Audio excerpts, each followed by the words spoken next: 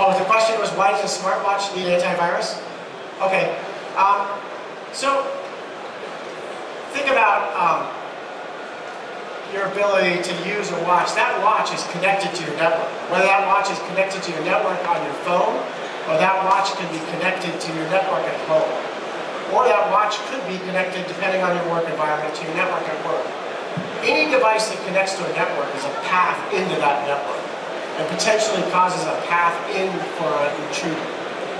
And so although we may think that a watch is a simple device that collects just our heart rate data, if I really care whether you hack my heart rate data, that may be true, although some people may care about that personal data as well.